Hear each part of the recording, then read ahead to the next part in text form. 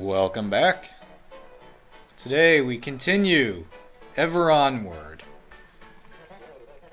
Ever, ever onward. Excelsior. Just a reminder, we have completed every puzzle at least once.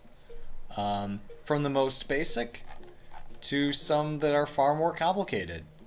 Um, so the next achievement I'm going for is trying to get the entire blue segment lit. Every one of these lights here. And we see that I am off by one. Dreier Ordnung. Here we go. For each two symbols or things in the inbox, read these and print them from least to greatest in the outbox. Uh, I'm sorry, for each three things in the inbox. Eins, zwei, drei. Oh, I remember. I remember this like it was yesterday. Even though it really wasn't. So, just to show you what we're looking at. We want to print these from least to greatest. Isn't that great? And then we read in three more integers, and then print those from least to greatest. Oh man, completing this game is going to be so exciting. no, the excitement's in the journey, honestly. and each step we get one step closer. Um, but more importantly, we learn all kinds of clever ways to do things in assembly code. And this will be an excellent foundation for future games that I hope to stream. Um, also related to this subject. Um, I, I know, right? Gosh. It's like people think you need, I don't know, top of the line graphics and stuff. No, you just need a solid concept and you need to prove it out. Also, by this point, I actually how to solve this. Although I don't think um, any of my viewers will be any better positioned than I am to figure this one out.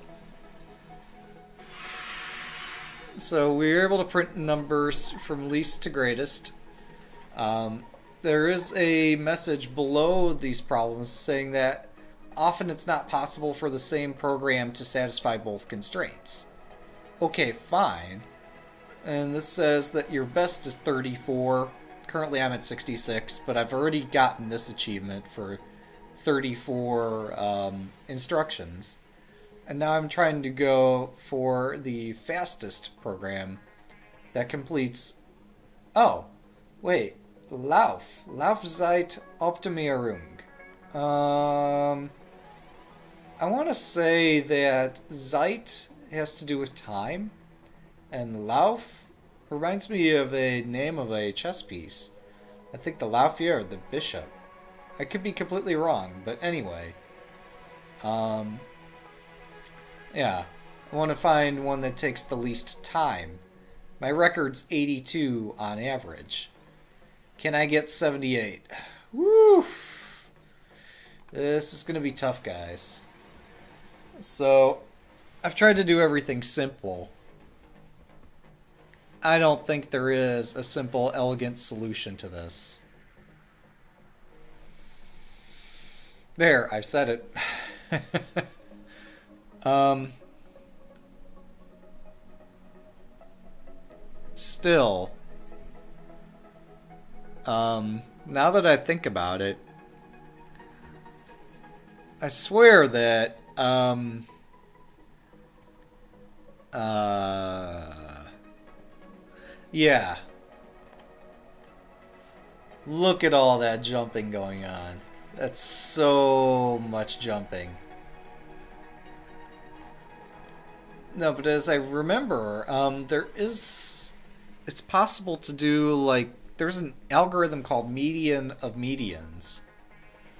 Um, and then there's algorithms that figure out like the minimum and maximum of elements. I'm wondering, perhaps I can do something absolutely ridiculous here. And as I'm reading a number, compare that to all the other numbers that I've read, figure out what's the minimum and what's the maximum, and then somehow when I'm done, figure out what's the other number. Um,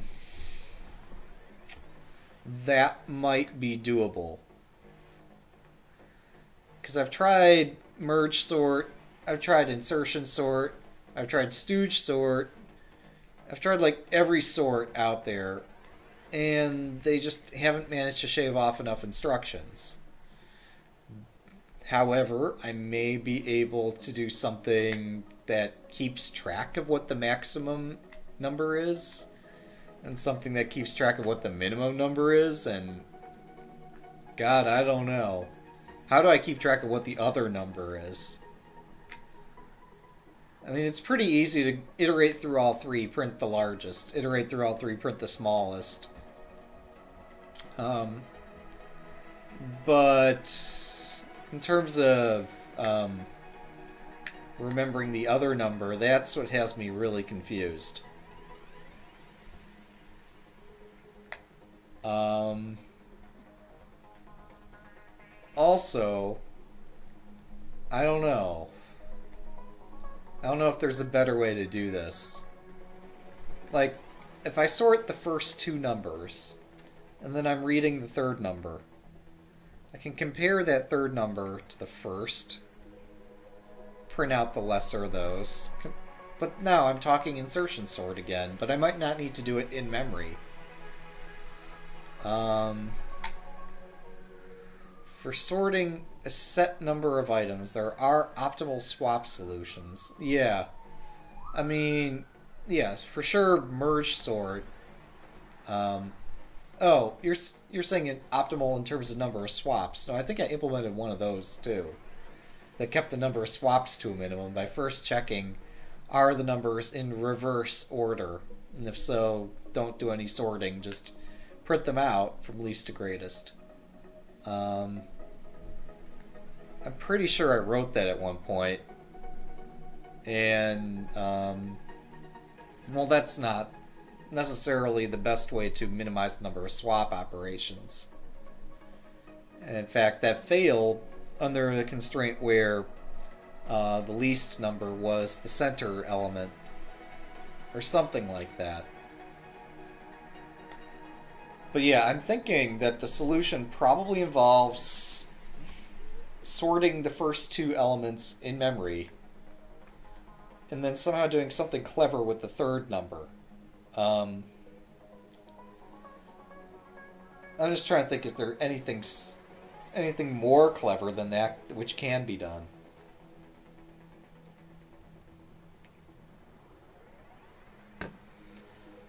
Another crazy, crazy idea I had would be um, read in the first couple numbers, but store them into memory multiple times. And then as you're reading in the final number, figure out where to place it with respect to the other two. Um, Another crazy idea would be say I'm reading two numbers, and I read the first number. Let's just assume they're sorted for the time being, because ordering the two isn't too tricky. Um, say I read the lesser value into slots 0 and 1, and the greater value into slots uh, 2 and 3.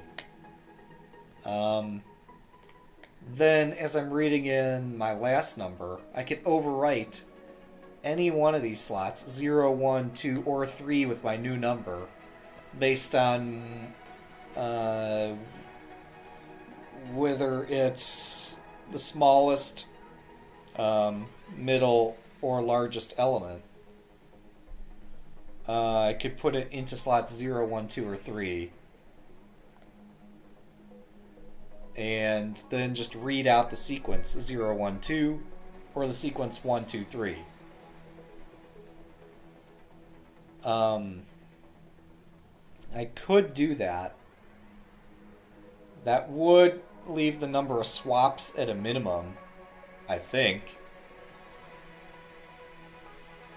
Um, just seems. I don't know. How could that possibly work?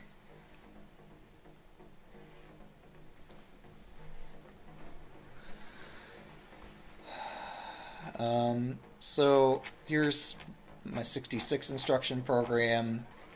Here's my 34. Um, here's I should just abandon this.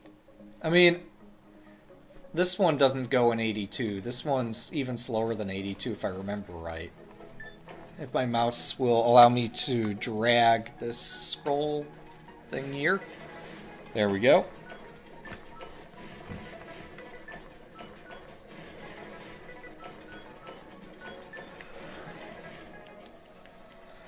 I suspect that was more than 82 cycles.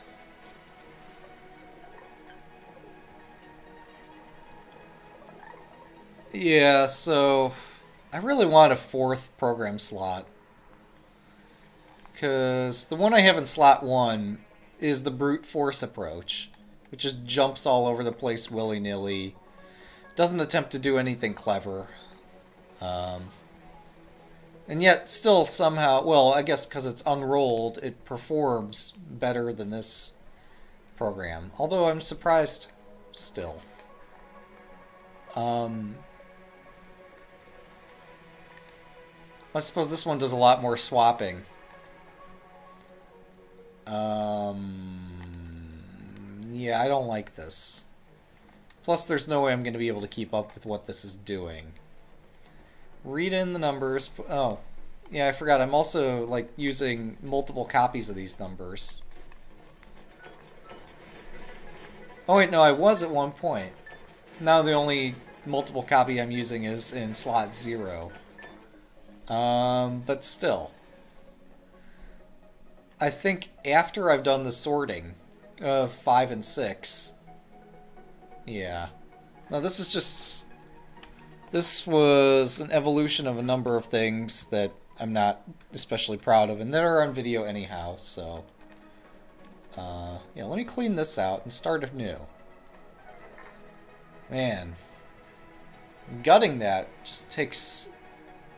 I don't know, man. It's brutal. know how much effort you put into that, and then you just ran out of program slots, so you have to gut something in the interest of keeping things, um, I don't know, in a state where you can maintain it somehow. So, okay, read that. Read into inbox. Subtract 1. Oh, hang on, hang on. Let's copy that to 2. Subtract 2. Um, if we're negative, then we need to switch the numbers.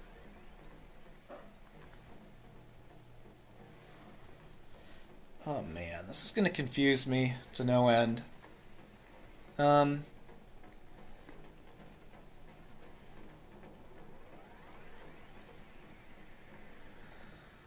Ah, yeah, yeah. No, let's do things the way I originally had imagined subtract 1. Um, if we have to switch the numbers... Oh my goodness. Otherwise... Um...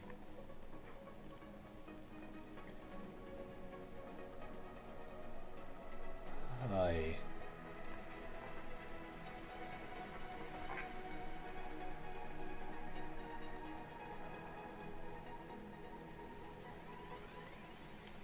Okay, here's a thought.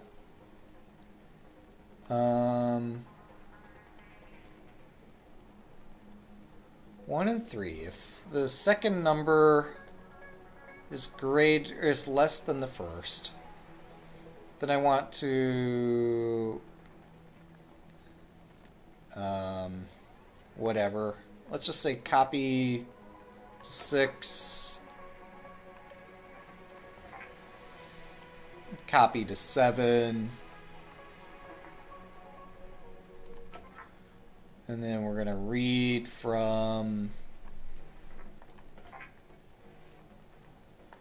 Uh, I just feel I'm going to confuse myself no matter what I do here.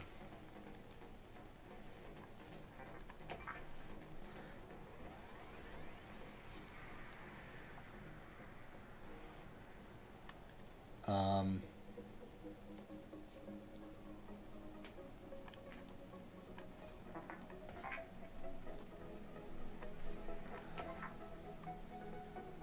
so let's just see if I can sort two numbers.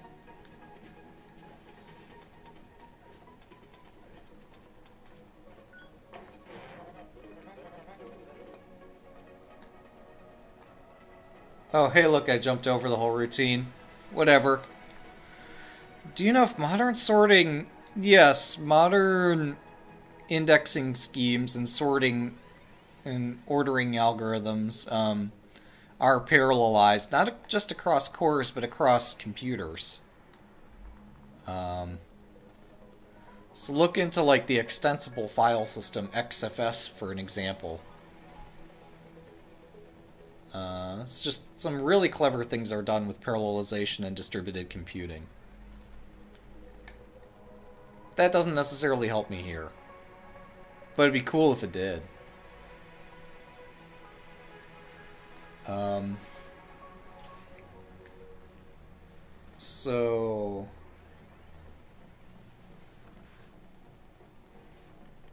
Copy to 1 and 6.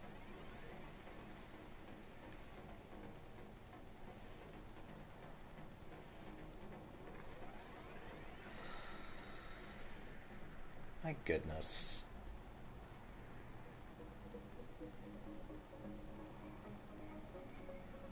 If only there were like an in-place sort I could use.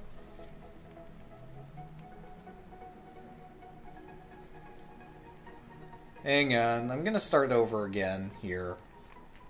I apologize for, like, losing my mind-ish. Um, but we're making progress.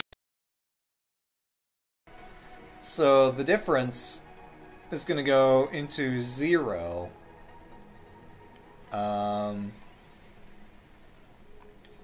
we're going to add the value that's in 1 after having subtracted it and then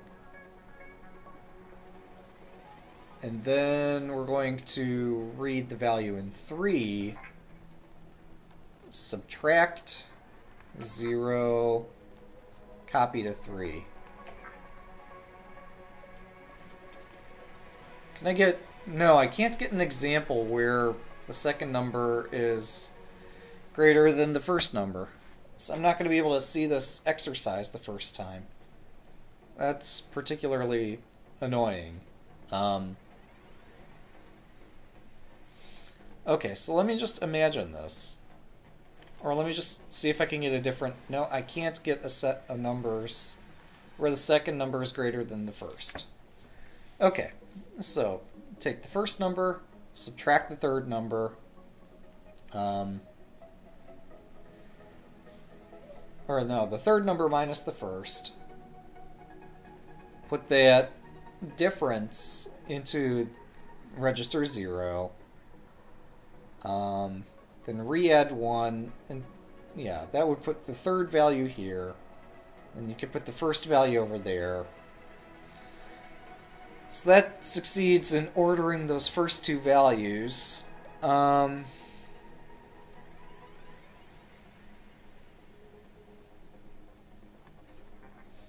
And then I'm going to copy that into slot 4 as well. Um, and then I have to, unfortunately, jump again to get over some other stuff I need to do. Which would be re-adding 1, copying this to 4, and then reading from 1, and copying to 2. So what this is going to achieve is putting the greater number uh, first twice. Yeah. This is my goal. So I've got the greater number listed twice, the lesser number listed twice, and a third integer that I'm about to read. So this third number I'm about to read is either going to go in memory slot 1, 2, 3, or 4. Um, if it's the least of all the numbers, it's going to go in slot 4. If it's the greatest of the four, it's going to go into slot 1. Otherwise, depending on how it compares to the other two numbers, it's going to go in one of the middle slots. And then we're just going to read out three of those numbers. There might be a more memory efficient way to do this, and by might I mean almost certainly is, um, but this has the advantage of being readable.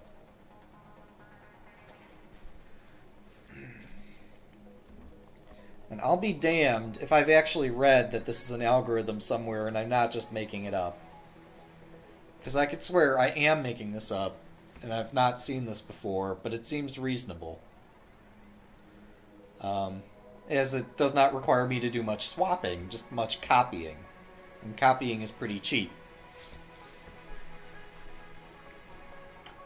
So the next logical step is going to be read the number from the in. Well, let's just start coding it. Read the next number. Um, subtract the least number. If we're negative, oh, hang on. Skip stuff. That's not what I want to do now, is it?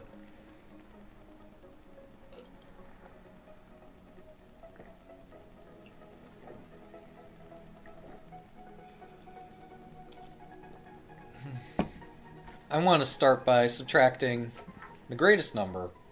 And if we have a positive outcome, then it's pretty clear that what we need to do is copy this to slot 2, or I guess 1, and then read 3, print it,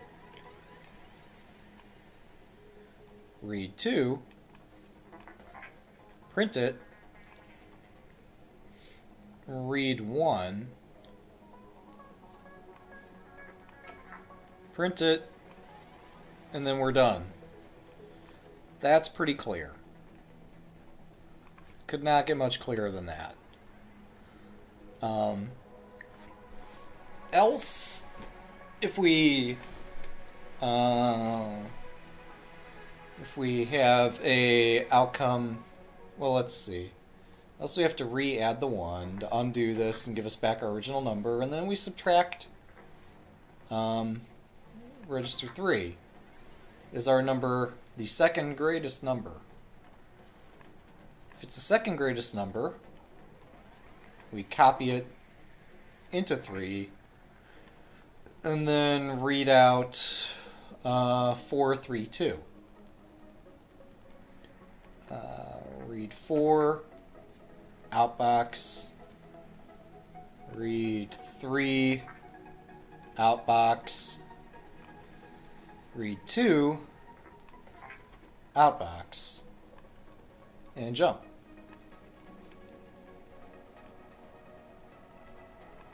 Our final possibility is that our integer we have is the greatest. No. Is the least of the three in which case we just print it and then read out 3 and then read out 2. And jump.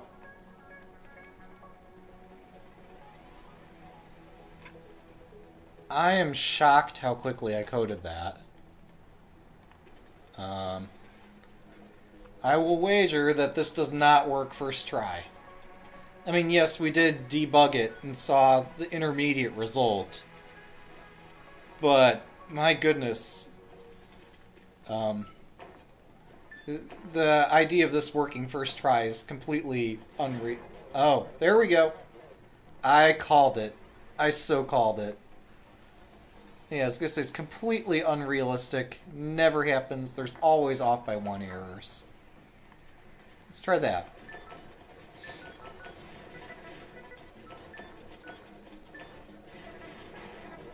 Oh, failure. Now, how did I screw that up? Back. Um, yeah, before I start copying stuff, um,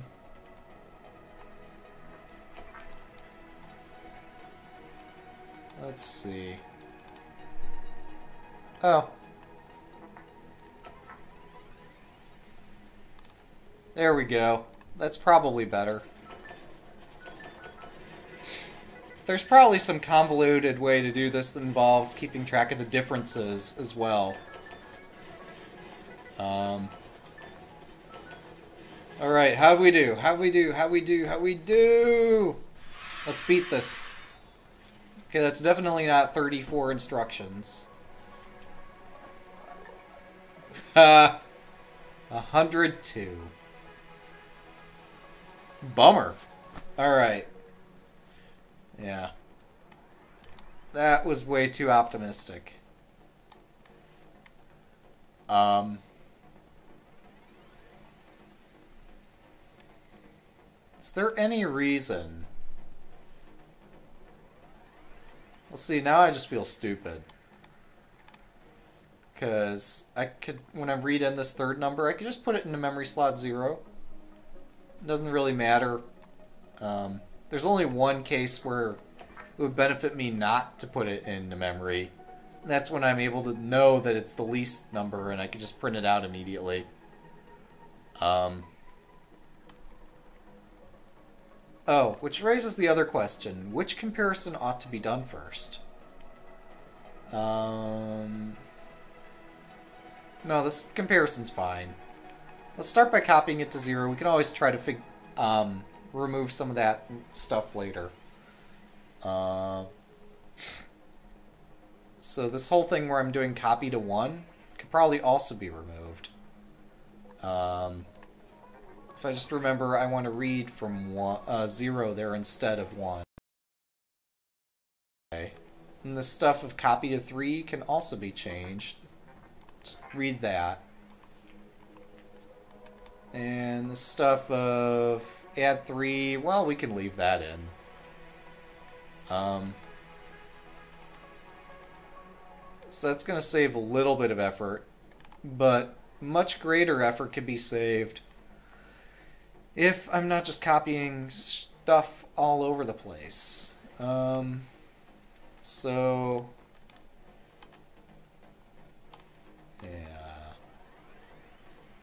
This is sad. This is so sad. Copy to one, copy to three. Um, now the stuff where I have to switch things around could be made more efficient if I'm not copying into multiple addresses.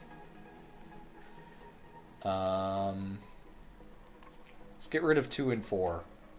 Everywhere that I'm using 2 and 4, I will now use um, um, 1 and 3 instead.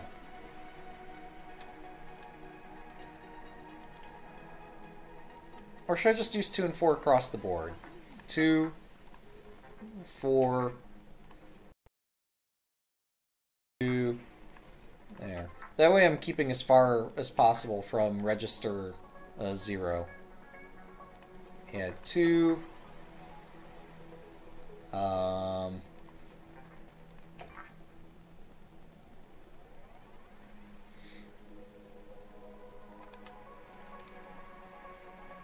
oh, wait, here, here's some stuff I was doing I don't need to be doing anymore. Yeah, this whole swapping numbers only needs to be done in that special case. Um, subtract 2 to be the lesser of these, 4, 2 not. And then re-add the 2, sub the 4, 4 not 2, re-add the 4, not 4 2. Let's try that. Oh, I failed. Uh, that's another off by one error. Let's try that.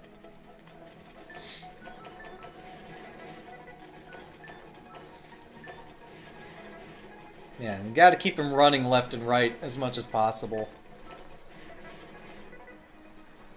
Okay. That felt more efficient.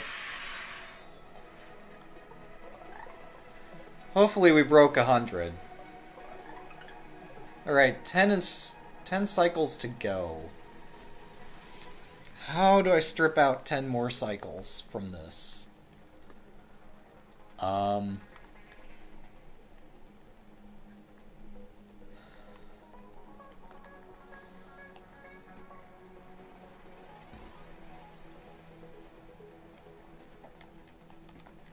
How in the world do I strip out 10 cycles?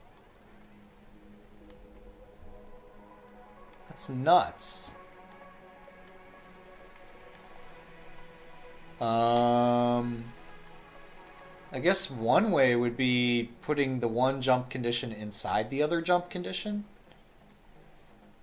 Like, compared to the least number, and then do another subtraction step and compare to the greatest number.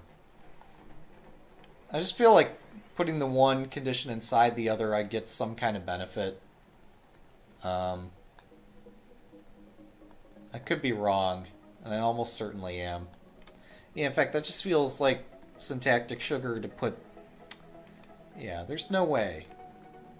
No way that nesting these jump if negatives inside each other could possibly help. Huh. so...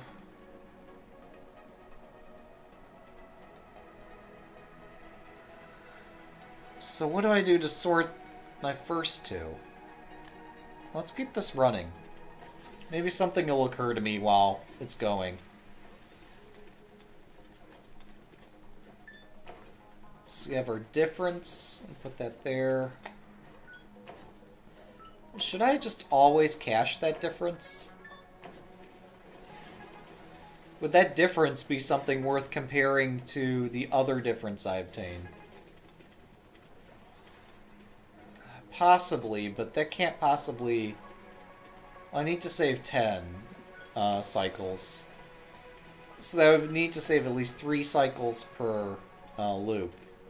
Um, I don't see subtracting one difference from a different difference to be a profitable thing. Um,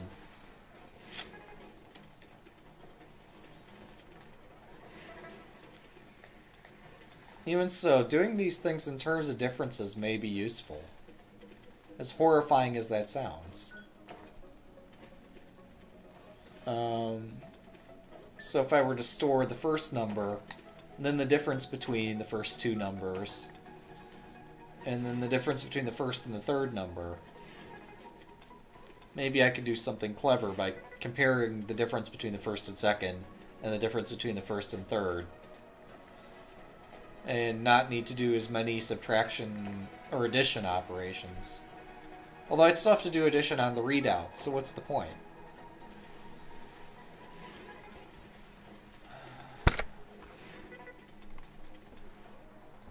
Just let him sit there. Reflect on how slow he is. oh my goodness. How could this be so challenging?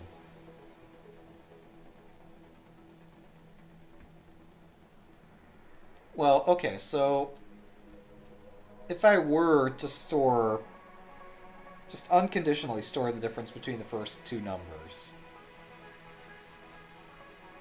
that's not useful either because I don't have an absolute value compare kind of operator. So sometimes I would need to be storing the positive version and sometimes I need to be storing the negative version of that number in order for me to be able to um, uh, well, you know what I'm trying to say. So, what do I do?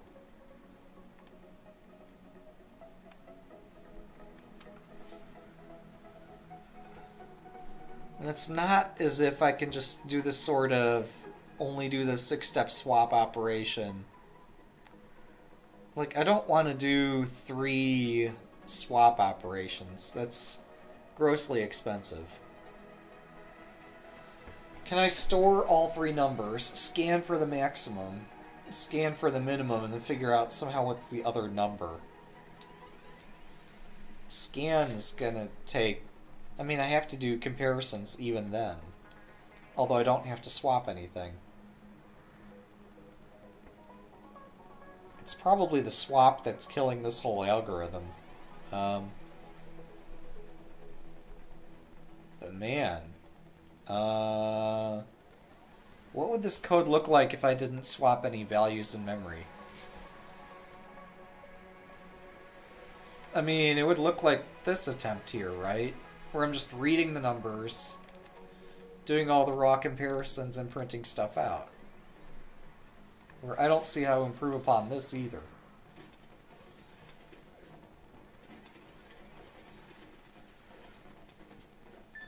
I compare the last and first, compare the second to last and first, compare the other pair, and figure out that I just want to print them out in this order.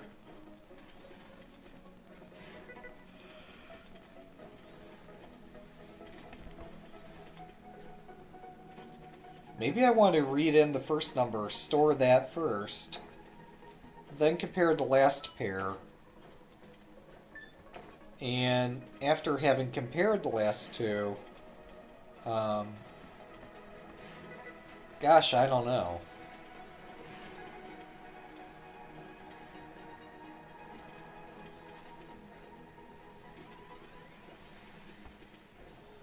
It just seems that doing this optimally is going to be positively brutal or negatively brutal.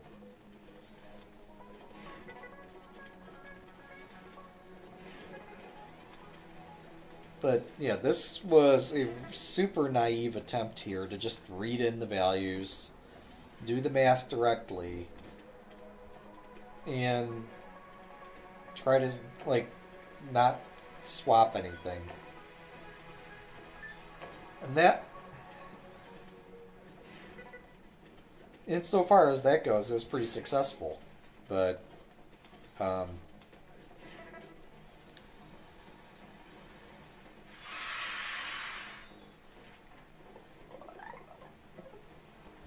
I think the other thing I could try, I mean, gosh, I only need to save one instruction per iteration for this to be it.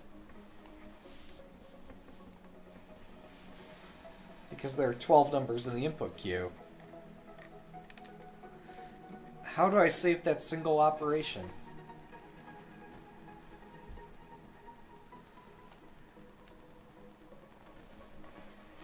I mean, I could save a step, I think, by comparing the differences that I've uh, determined directly with the different, the other difference. Um,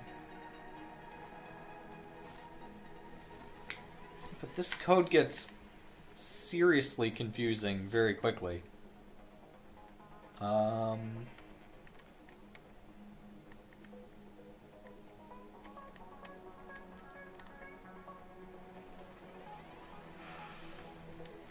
Huh.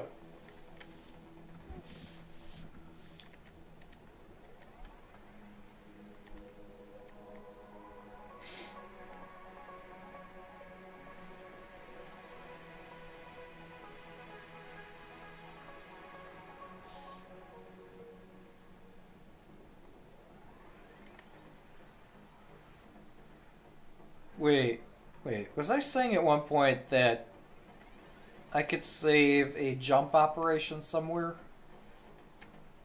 No, that wouldn't quite work because I'd have to jump at the start of the program.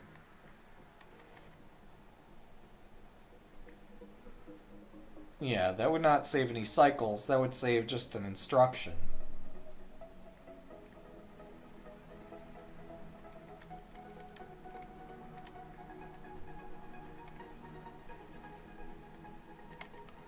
Like if I were to orient the entire program to put all this input at the bottom and then have all the comparison routines. Like I could take these first six, seven, some, whatever, however many of these instructions, put them at the end of the program down here after where this jump used to be. And I can make the first instruction in the program be jump to doing all the input. And then have all our conditional jumps to various places. So I could reorganize this entire program. And um, that might save uh, some jumps, but very rarely.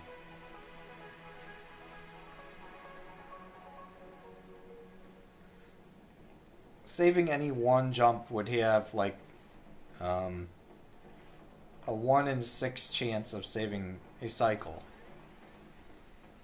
So um, that would not be enough to save the four cycles that I need to save. That would only be enough to save like two thirds of a cycle because we're going to be going through this loop four times. Um, so I just need to find where I did something terribly, horribly, ridiculously stupid and fix it. You would think that it would be obvious and self-evident where such a thing were. Um, but I'm not seeing it just yet. Okay, so 2 minus 0 jump down here. Wait, what jumps me here? 1 minus 0 jumps me there. Print out the 0, print out the 2, the 1. But in all these cases, I've already just did a subtraction operation, so I can't just print out the subtraction. Or can't print the subtracted number. Um,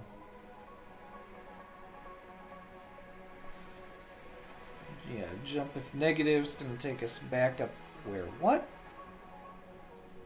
What's this about? Jump if negative takes us down there. 2 minus 1. 1 minus 0. How does that take us back up to the top? I don't understand. 2 minus 1, 1 minus 0, jump if negative, jump. How is there nothing printed between 41 and 42? What have I done so stupidly wrong? 2 minus 0, 2 minus 1, 1 minus 0. Okay. So that's half of our conditions. 1 minus 0 skips over this. And we print three numbers and jump. So that's our 2 minus 1 condition. And then we print three numbers and jump.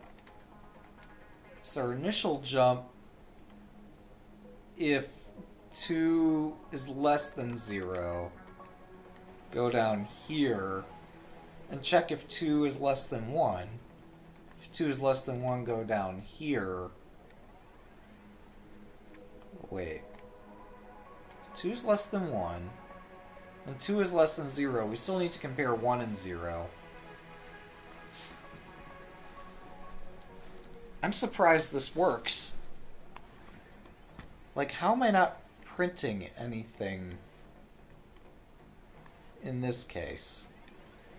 This jump seems extremely sketchy to me. Like, I have no idea how this could Do I not even need to do this comparison? It's 1 minus 0. 2 minus 0. So 2 element in register 2 is less than the element in register 0. So we go down here. The element in register 2 is less than the element in register 1. But we still need to compare the elements in registers 1 and 0 if 1 is less than 0, go there. But if 1's... So, if 1's greater than 0... So say we had the value in 2 was, uh, I don't know, 5. And 0 was like 9, and here we have 7 in the middle. I'm oh, sorry, no, if we had 5 and 2, if we had 7 and 0 and 9 and 1, we're not going to print anything.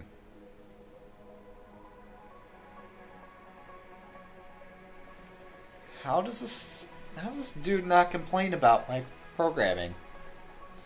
I mean, he complains for all kinds of other reasons, but how does he miss this? What have I done so terribly wrong as to have confused the entire game? This jump here seems way out of place.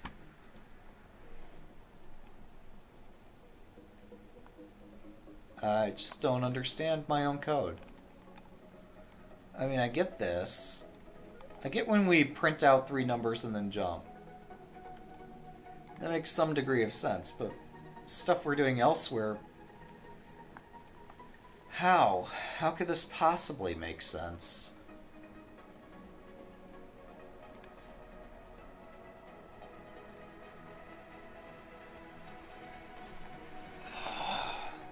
I think I just missed something outright. Okay, so what have we checked up to this point? We've checked that of these two elements, zero is the greatest. Of those two, uh, one is the greatest. And you have to check if the zeroth or first element are greater than each other. Um, I mean, that all adds up, but this stupid jump here... How the hell does this work?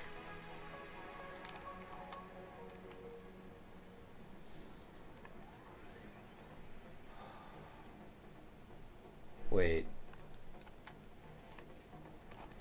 Wait, wait, wait.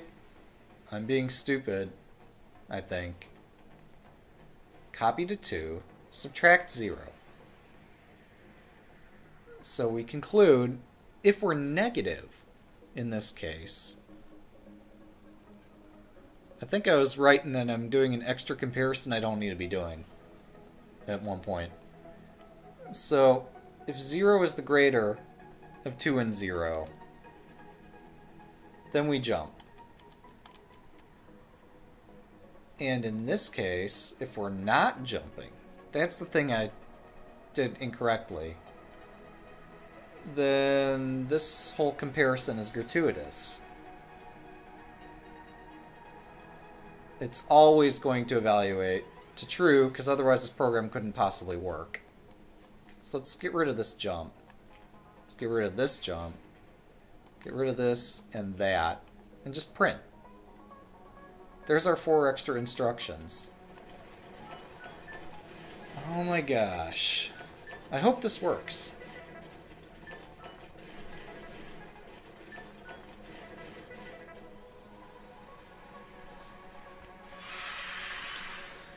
Meanwhile, I'm thinking algorithmically, how do I fix this? And... Alright, so we saved an instruction. We're now down to three. Um, I had a gratuitous instruction in there. It just didn't need to be compared. Okay. Um, possibly, by reordering some of these comparisons, I can do even better. Yeah, we're getting closer. Oh my goodness. So, if we're negative, then we do need to do one more comparison down here to figure out what to do.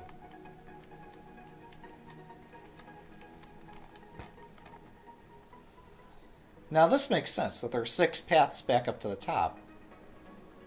I don't know how I put up with there being seven. Gosh.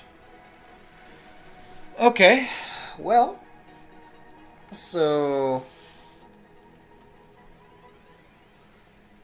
um, jump if negative. So if we're negative, then that means, you know, why don't I copy this program? go over to slot 3 with our other huge thing that just doesn't work. Period. Overwrite that. And then we start screwing around with this here. So 2 and versus 0. If we conclude that 0 is greater than 2, and we jump, then the next thing we want to compare is figure out what's the greatest element? Well, I guess, no. Um, I guess I can't reduce the number of comparisons down here. Um, I probably can't. How many comparisons am I doing? How many times am I calling sub?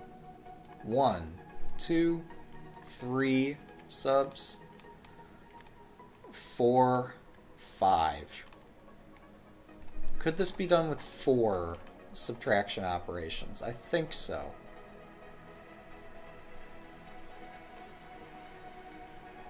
Two versus zero. Okay, let's now say we didn't jump. Say two is greater than zero. Let's say we didn't jump again. 2 is greater than 1. Now, why did we compare 2 and 1 first? Would it have been more efficient to compare 1 and 0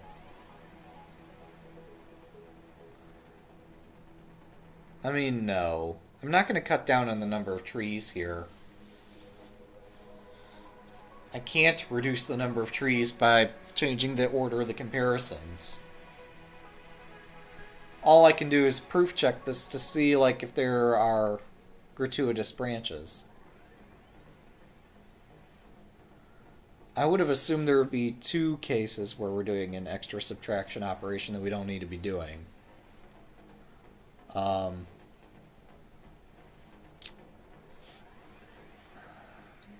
two minus zero.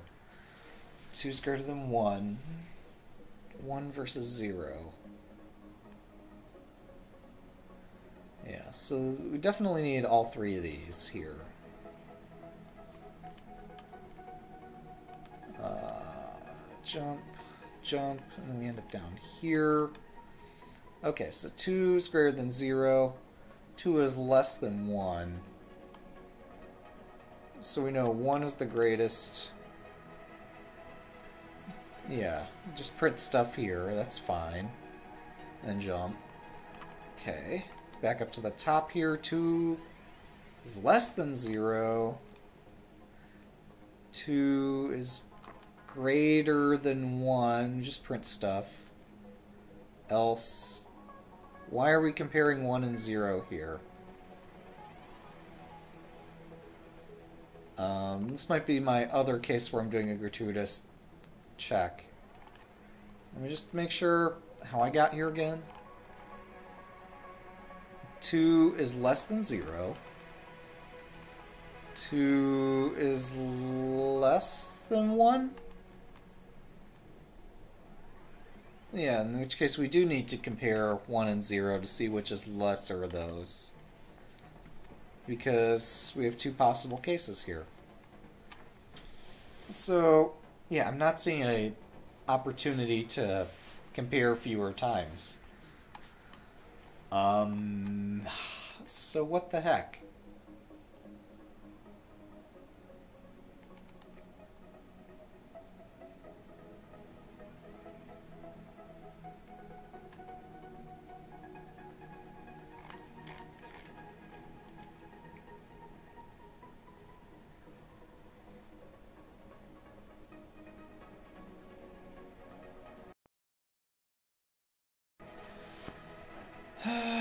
So, the only other thing I can think of,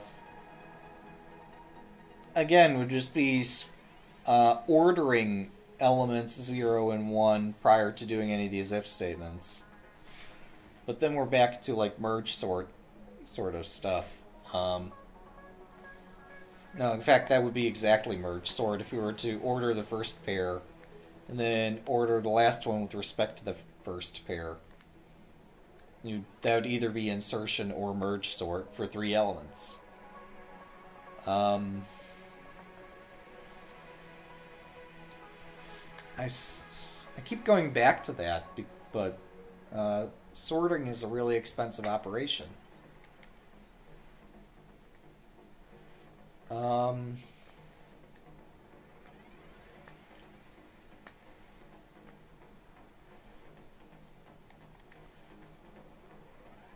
huh.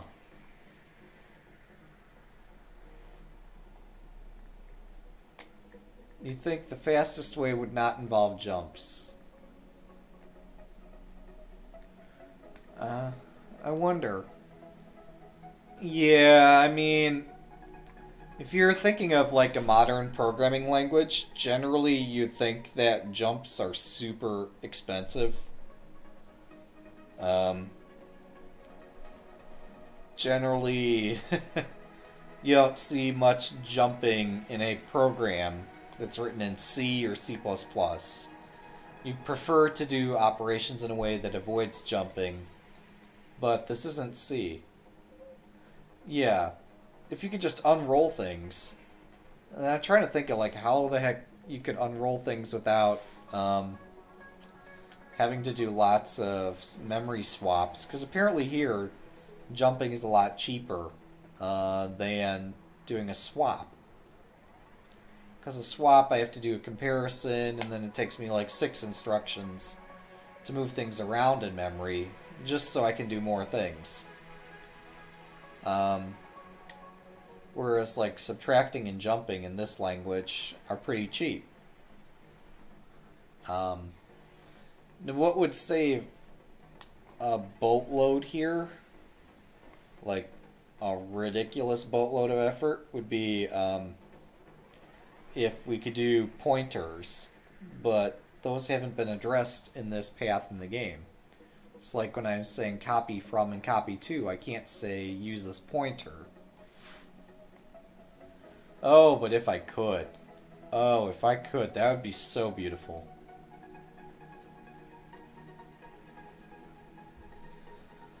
Huh.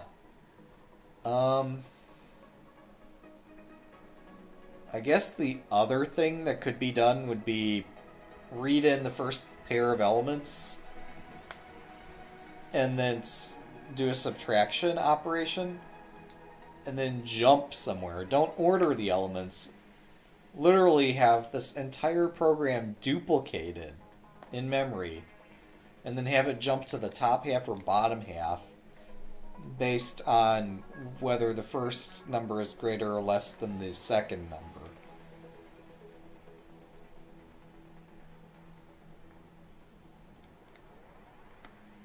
So you'd have a program that's simply ginormous. Um, uh, but at least it would, um, I don't know.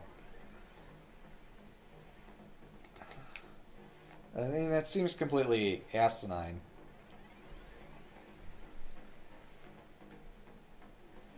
But, um,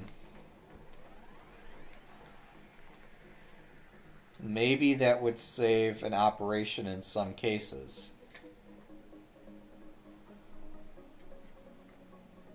For example, if I know which of the first two is the greatest element. Oh, wait a minute. Um, yeah.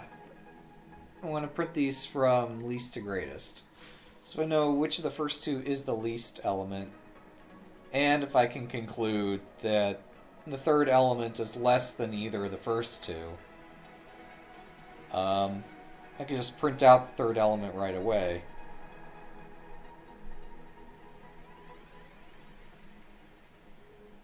Um, for either path of either the zeroth or the first. Um, I'm gonna try that. I've been avoiding that until now because it makes the program completely unwieldy in terms of size of the program, but um, copy this.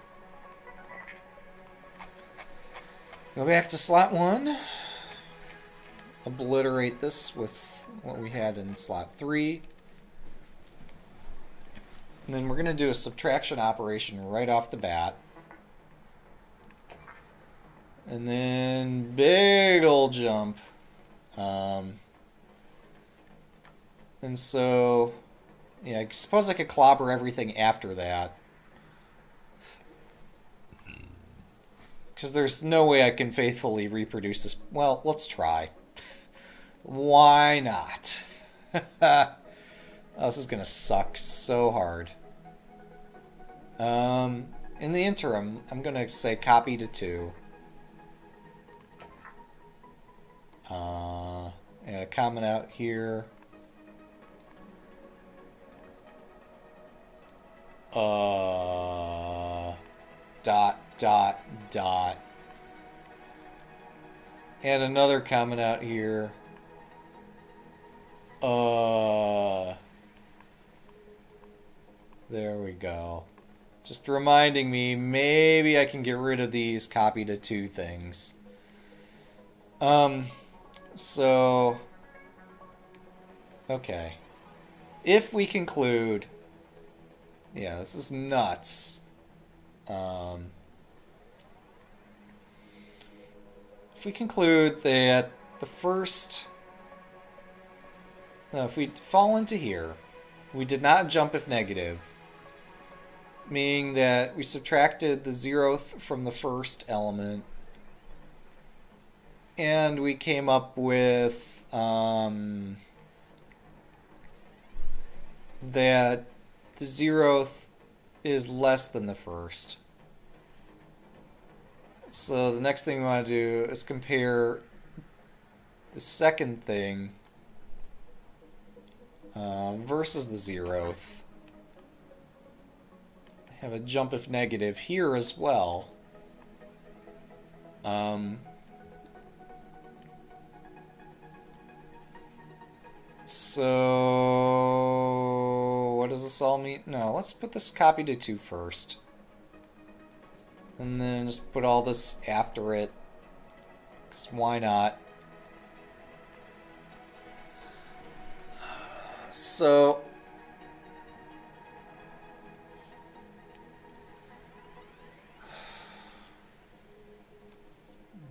outbox some stuff.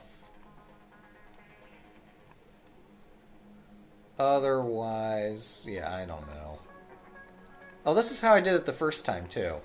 To come up with the correct results, rather than figuring out um, what the results should be, and then using that. Um, we just did good old trial and error.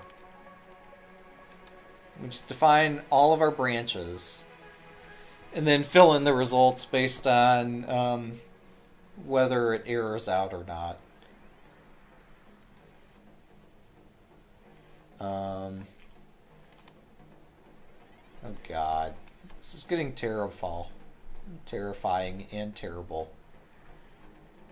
Um, okay, jump if negative. We're going to outbox some more stuff.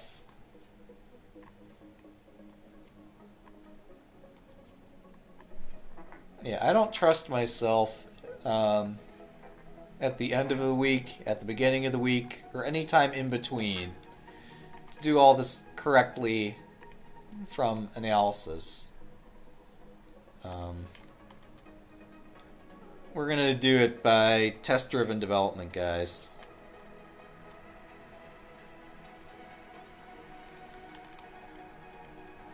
So. Wait, so that's case one, right? Why are there not three branches in here? 2 minus 0. Can I at least figure out... I mean... Oh my god. I feel dumb. Um... Add 0. Subtract 1. Jump... Oh. I didn't want to put that there. Don't know why the program, don't know why a human resource machine decided to do that all of a sudden, but um, yeah, subtract one, jump if negative here,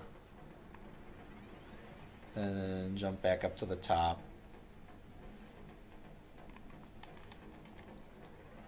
Um, and outbox some more stuff here. There we go. I feel like these are at least the key decision points in the program.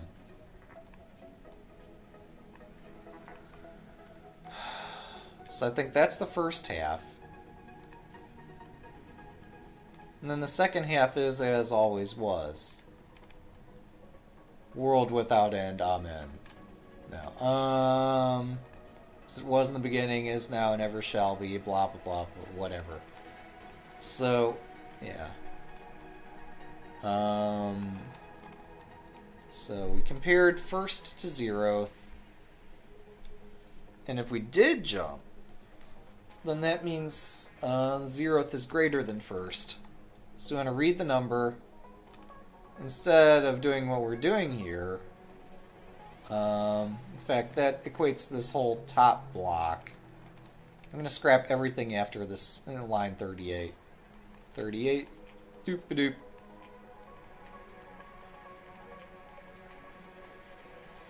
Jump, jump, jump, jump.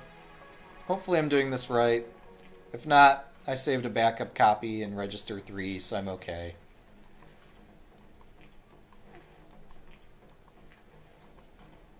Doop doop doop. And I could probably get rid of. Um, wait. Yeah. That and that. Okay. Well, this we know this is going to fail. Let's see how it fails.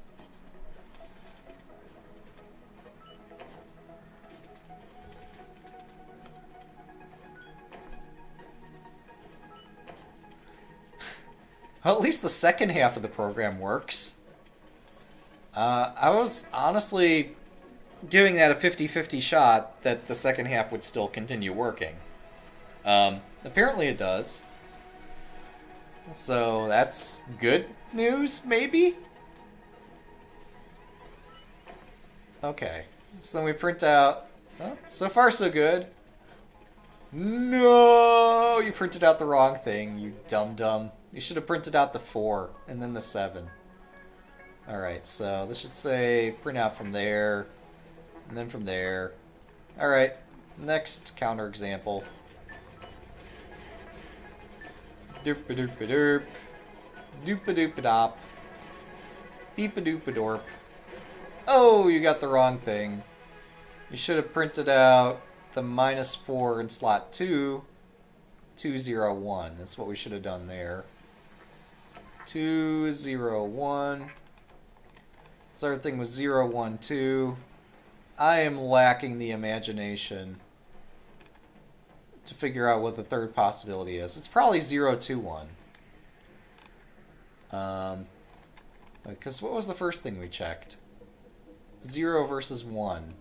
So the 0 is going to be before the 1 in all these output combinations. So this third one's got to be 021. Alright. Test-driven development for the win. Or like error-driven development.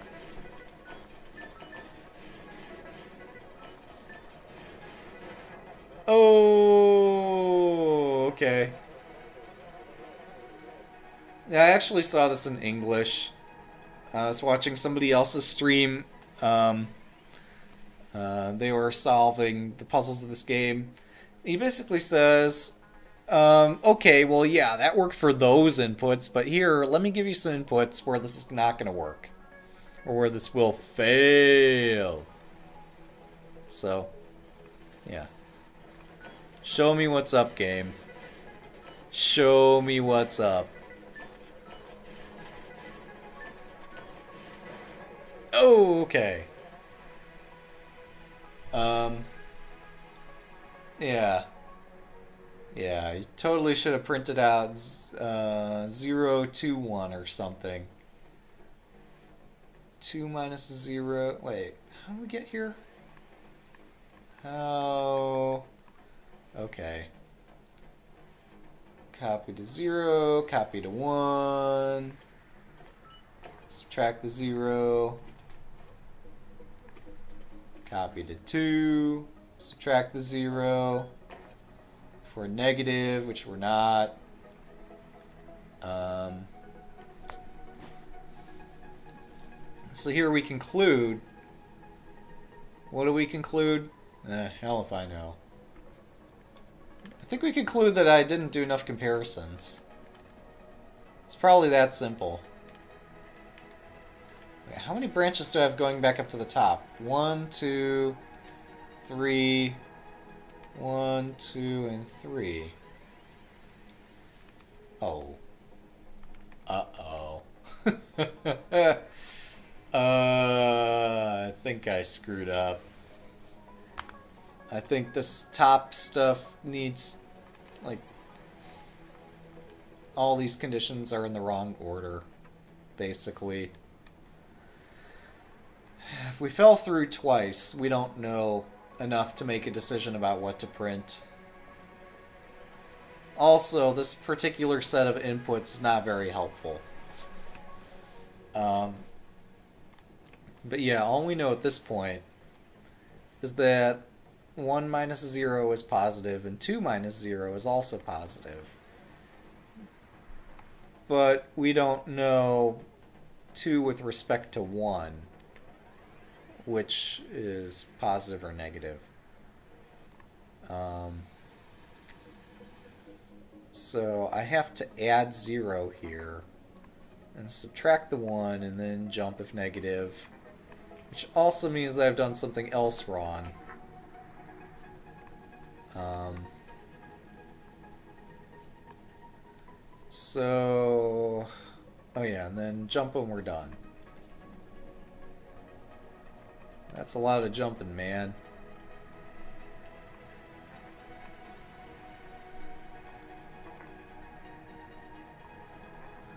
Okay.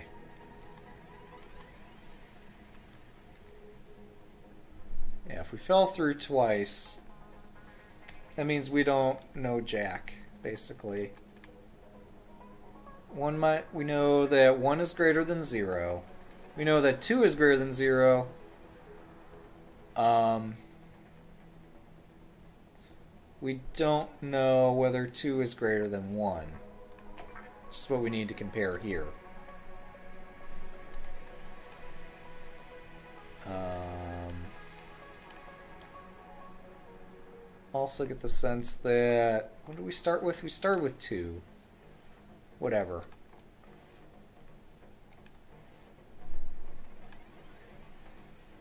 Oh, wait, no, I could do just add here. Adding here is fine. I don't need to copy. Um, 2 minus 1. Okay. Else do that. Fine. Else down here, we're doing stuff we probably don't need to be doing. Um...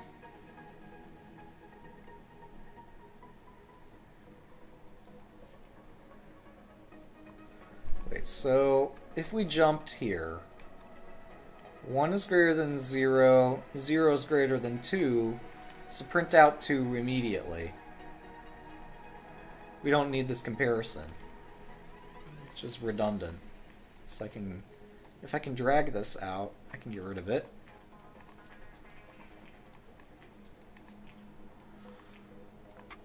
Uh, this comparison need not be done.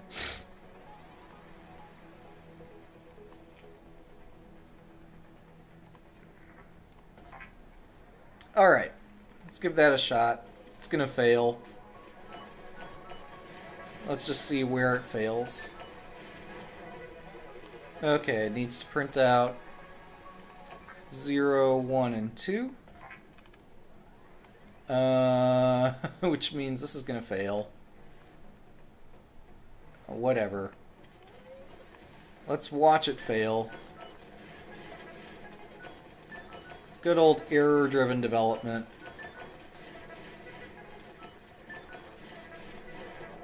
Right. He tells me that he's going to give me some numbers. Give me some better test data, man. I feel that the game knows that I'm gaming it. It exploits the fact that it's going to give...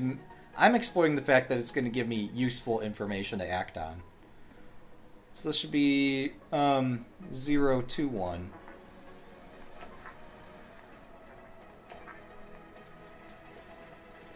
I don't know why it's trying so hard to conceal good data in the first place, other than to try to force me to think more before coding.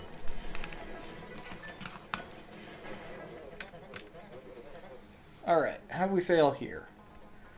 So this should have been 102.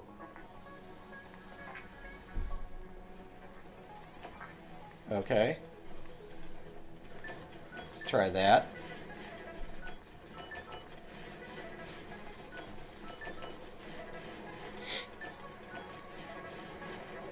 Okay.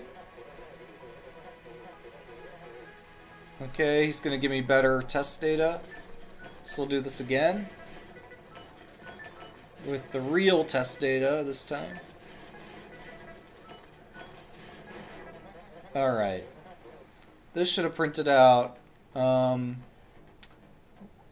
120. It's possible I might have my conditions wrong. After I've done all this speaking about, well, stuff. okay, that fails if he gives me better test data. Better test data would be...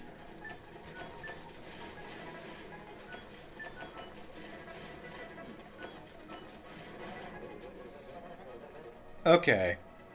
So, yeah, something is bad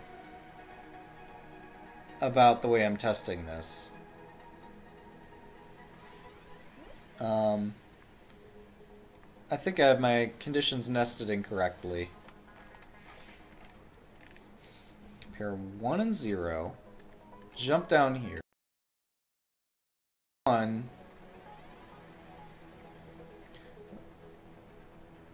Now, I've compared 1 and 0 and concluded that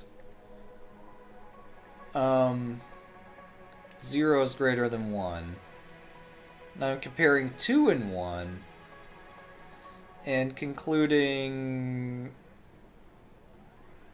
um, the 2 is less than 1, 0 is greater than 1. So I just want to print out 210. Your two cents. Alright, I'll check this out.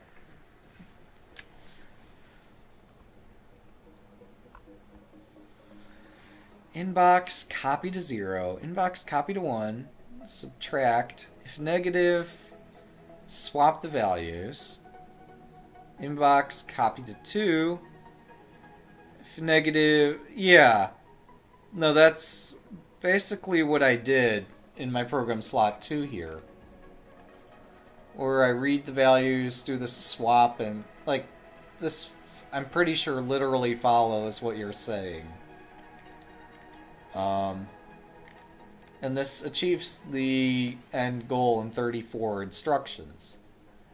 Um, but takes more cycles than that, obviously.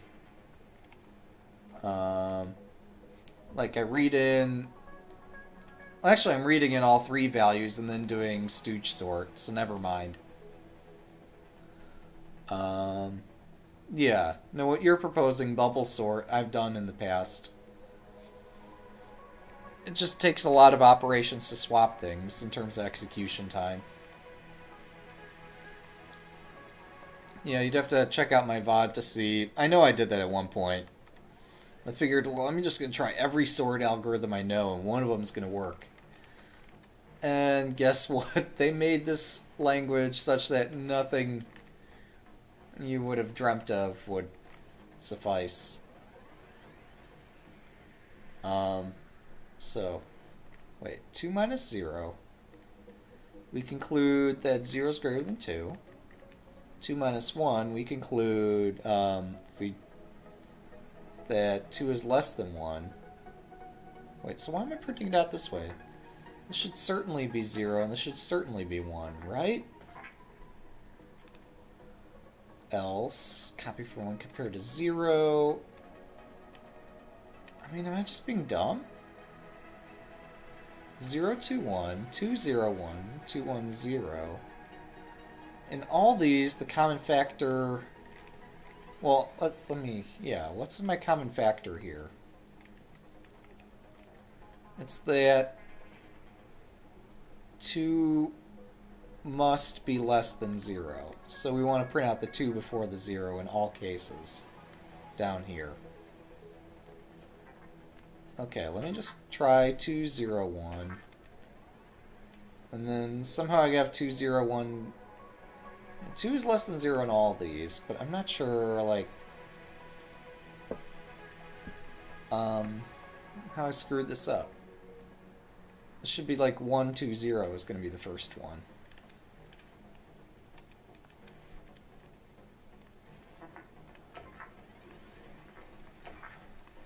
So the game has successfully messed with me trying to mess with the game.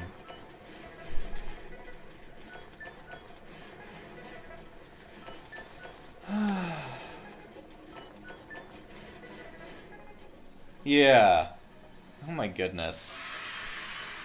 Alright, how did I do? How did I do? Let's find out. Probably still not there. That's okay, we're still three steps away. But we have comments this time. Oh my god, where are my comments? No! I loaded the wrong one. I'm being stupid again. Alright, so... 0 versus 1. I was gonna say something about that didn't seem right, like, what was going on there? Okay, we're back in program slot 1. Um, so, the common factor of everything that we're about to jump to is that um, the first number is going to be printed before the zeroth number. First zeroth. This is not printing the first before the zeroth number. Oh my goodness. So, copy 2 versus 1. If we fall through, then that means, um, yeah, first is the least, second and zero. That's right. If we do jump, then that means uh, 2 is less than 1 is less than 0. Uh, yeah, no, that looks right. So how the freaking heck was this failing?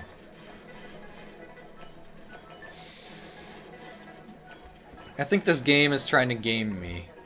Alright, so... Um... 2 sub 1. Okay. Let's try that. Jump. Oh, wait, I need to have somewhere a Check for equality. Don't I? Aye, aye,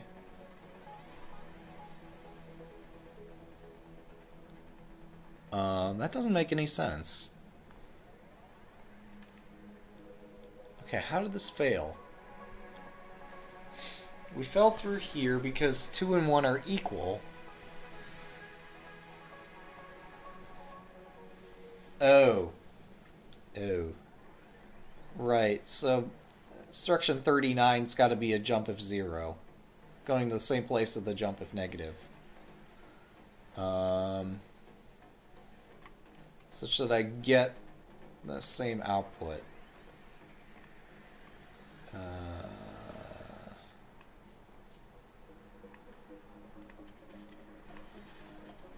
what a mess.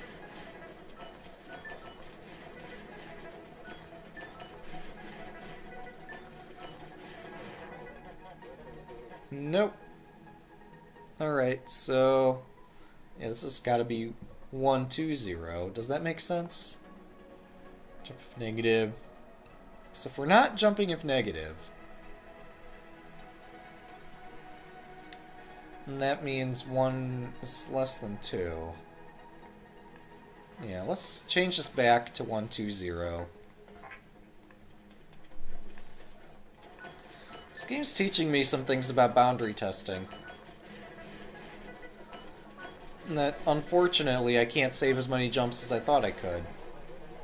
Okay, so give me better test data. Try this again. Yeah, the test data that fails the condition involves numbers being equal. I'm pretty sure. I say that, and I'm just flat out mistaken. Alright. So how did I get to this branch in multiple cases? Let's go back. Okay. 5, negative 4, negative 9. Jump of negative. So we conclude that first is less than zeroth. Read that into slot 2, subtract the first, get a positive number, but we don't know anything about comparatively is the positive number larger than the other positive number. We just print stuff, because you know we can. Because where's the fun in not just printing stuff right away? Yeah, no, I need to um, add one.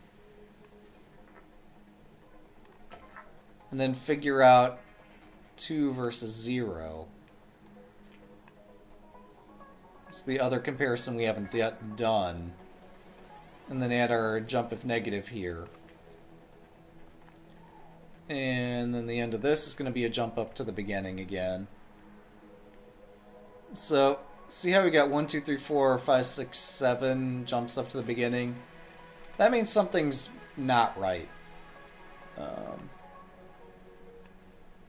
uh, but at least we have all the jumps at least we have enough jumps.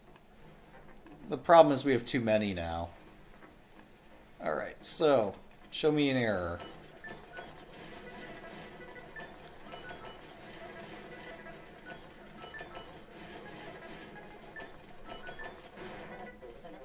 Alright, so here it should have been 102.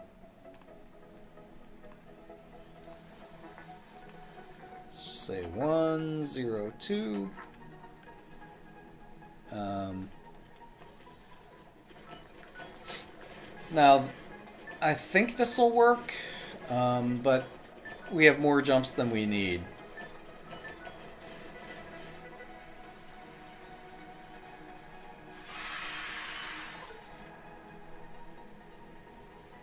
What the hell? Um, no. No, I don't accept this. I don't believe this. You think I'm crazy. But, okay. I need to prove this just to understand it. Um, yes, that's the correct that's the result we're looking for, but I don't believe this at all. Um, that just seems too convenient. Like, how the fuck... Okay.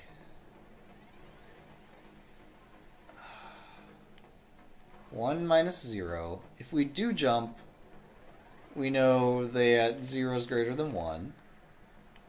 And then we have to do all these comparisons. I get all that. Um,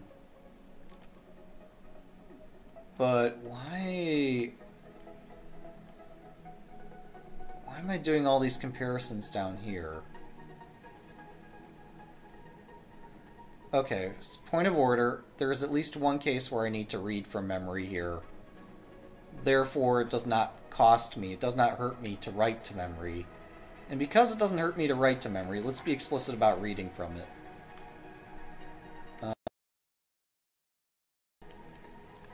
2 minus 1. If we do jump, then we know that 2 is less than 1, but we also know that um, 0 is greater than 1. Right? And so the next thing we're doing is comparing 1 and 0, but this is a tautology.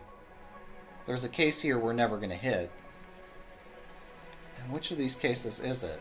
It's the one that we've already printed out. 102, 120, 201, 210. One of these cases down here must be a tautology. I'm not buying this. Not for an instant.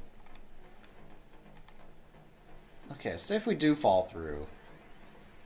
Uh, 1 is greater than 0. Then we compare 2 and 0. Uh, we've already done a write to memory, so let's read from memory.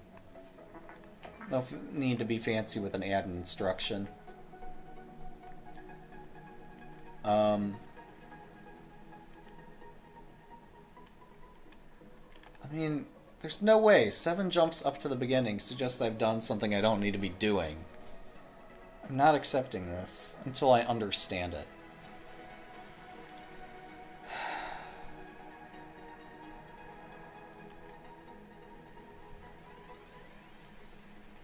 So, 1 minus 0, we fall through, so 1 is greater than 0. 2 minus 0, we fall through, 2 is greater than 0. Then we do need to compare 2 and 1.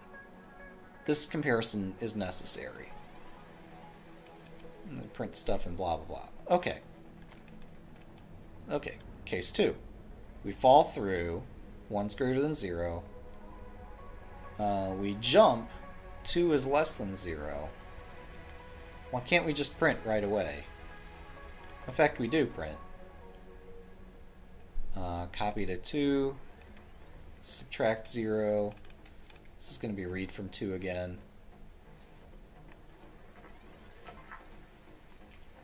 Okay. So I accept that the first half of this, which has three sets of outbox instructions, is correct. I accept that. Uh, don't need a big comment here anymore. Next half of the program. We did jump. Ergo, 0 is the greater of 1 and 0. Okay. So, first comparison, compare 2 to 1. If 2 is less than 1, then we jump. And then, for some really stupid freaking reason I don't understand, we're comparing elements 1 and 0, even though we already did that comparison up here, and we already know that um, 1 exceeds 0. No, 0 exceeds 1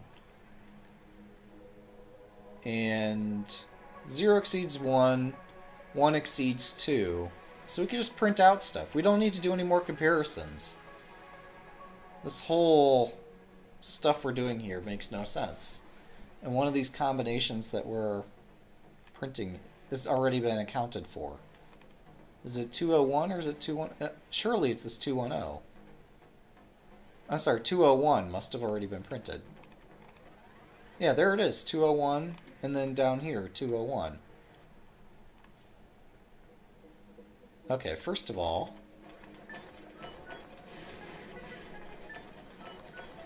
yeah, 201 is our problematic combination that the game's not testing correctly. I just got lucky.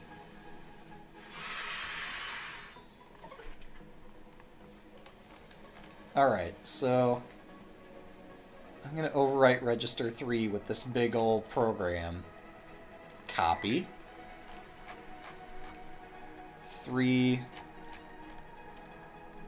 going to splat that. And then get rid of the second 201. Because, um, just highlight that there. Because that's already taken care of right here. We don't need to take care of it again two, oh, one. That's gone. That's gone. And there we go. 64 instructions. Hopefully with the correct result. probably with an even lower cycle count than what was being aimed for. Let's get rid of this stupid comment, too. Oh, I missed the chance to stop that. Yeah, 77.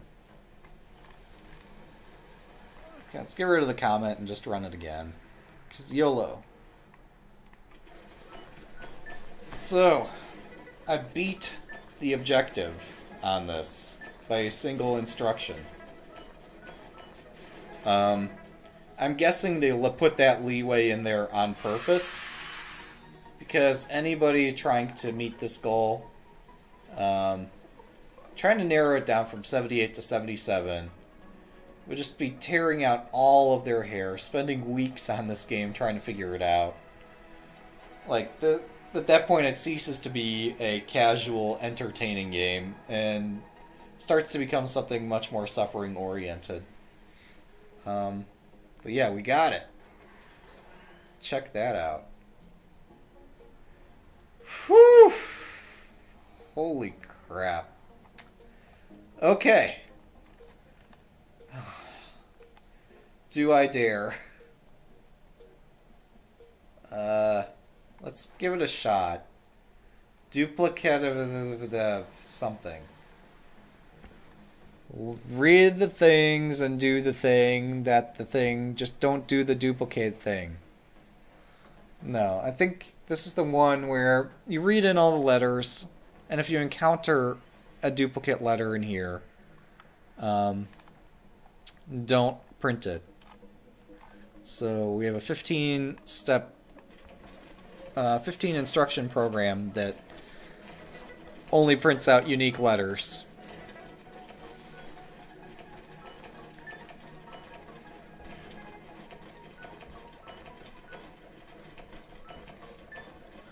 Now, I joked.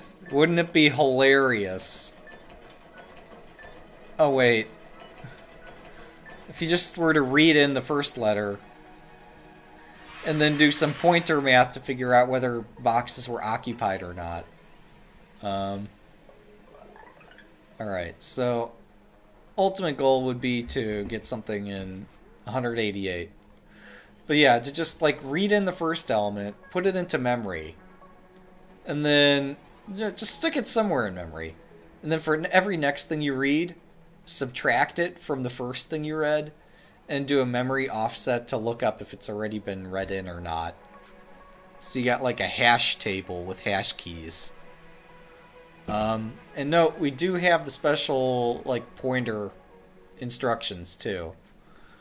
Um, so yeah, if you really wanted to go completely nuts solving this, you would still need a way to check uh, if a memory address is occupied.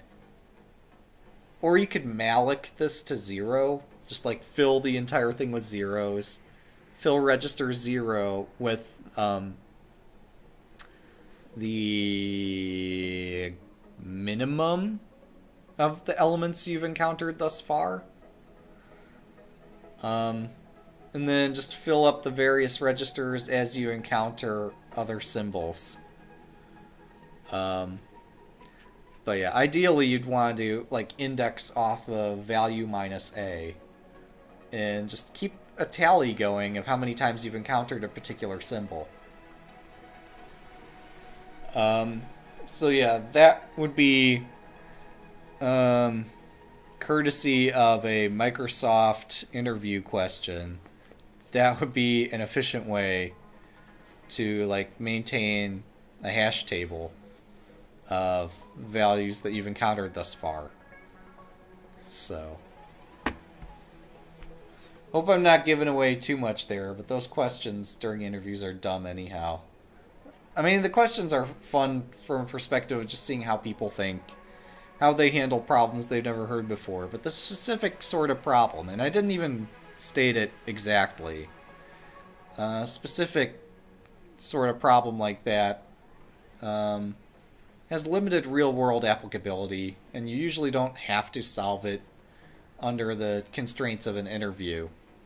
And creative people, I don't know, just can't always create on demand. I mean, some can, but yeah. Anywho. Uh, what was in slot one? Had something fun going here. Increment that. Copy it into 13. Read this. And then... Okay. Ah, right. Alright, so I increment register 14 to indicate the number or the count of elements in memory. And then, yeah, if I haven't hit a value, then uh, then add the value.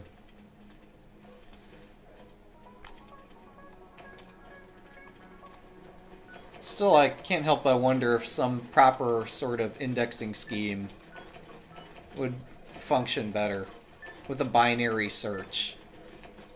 Oh god, no. This one wants you to implement binary search, doesn't it? Well, shit. or even some primitive form of binary search might be called for. Yeah. So getting it in 15 instructions isn't the challenge, but um, properly maintaining a collection apparently what it'll want is an ordered collection, which is even scarier. Um, Oi, what do we do? What do? Okay, how did I do this better the second time around?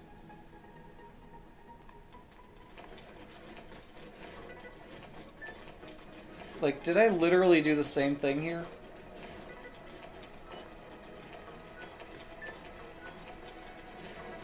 How is this any different than my other program?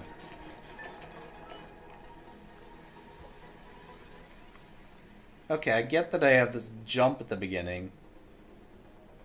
Um...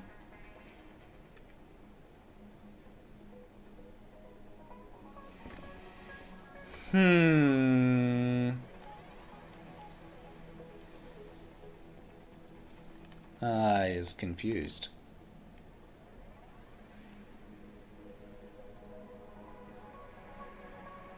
Copy from 14 to 13 inbox. I mean... Okay, I'm going to copy this. I really like the second attempt at it, so I'm going to keep that copy around. Um, gonna inbox bump plus 14 copy to uh, there and then initially jump oh hang on initially jump here There we go. We have 17 instructions, but we preload things with the first character. Oops.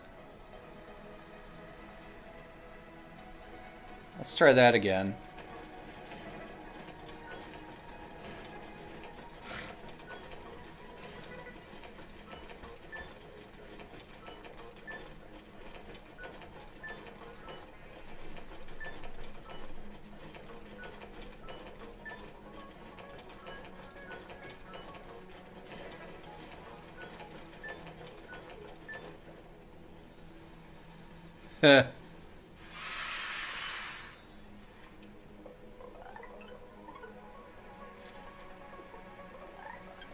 uh, still at 182.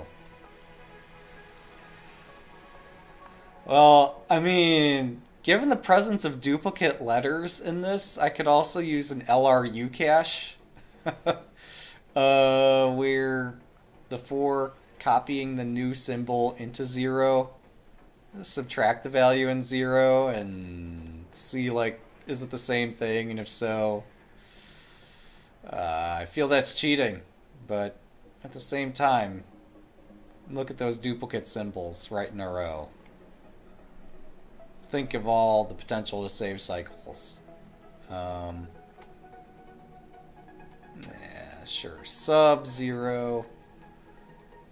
Uh, jump of zero back to inbox, otherwise adds. Oh. Otherwise add zero.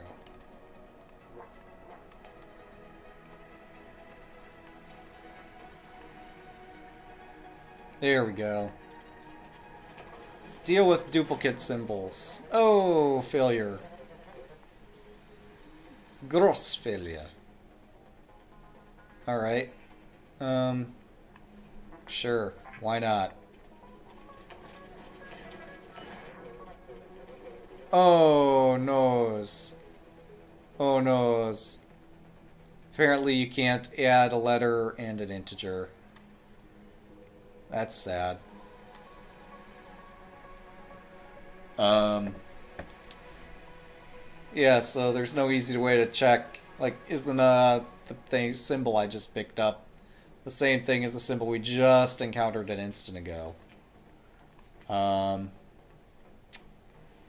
that's sad. Okay. minus 13. So...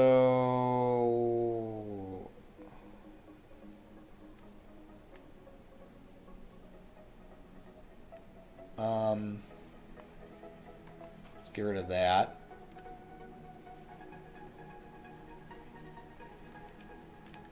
Jump of zero. Zero put us back up here. If our loop iterator hits zero, we also jump.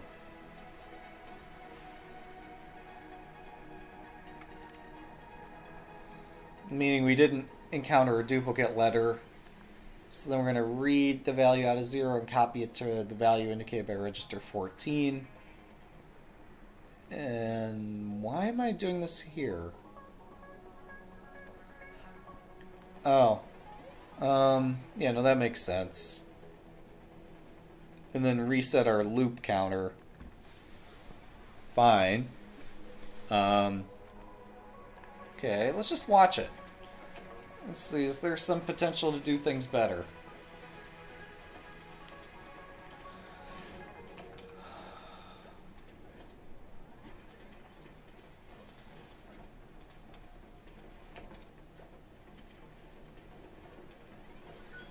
Wait, wait, wait, wait. I could save an instruction altogether if I'm not using register 0. At least not using it in the sense that I'm currently using it. Um, so, when I read from the inbox, um, let's copy it. This is going to get scary, but at least this is why this is why we've saved a backup of the program. Um,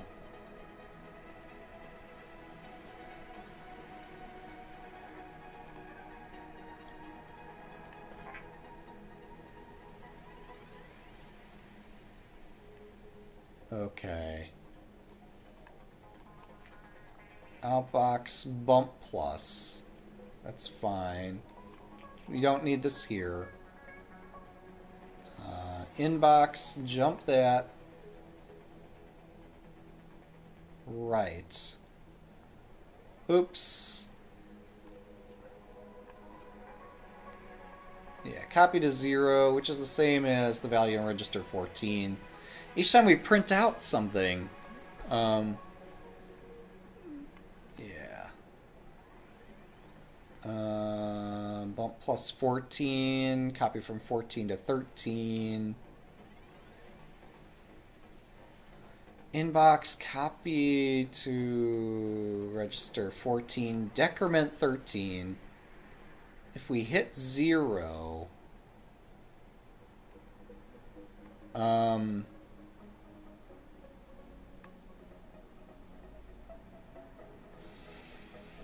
hmm. No, this needs to be now jump if negative. Will take us to wherever this jump of zero took us, which is read the value.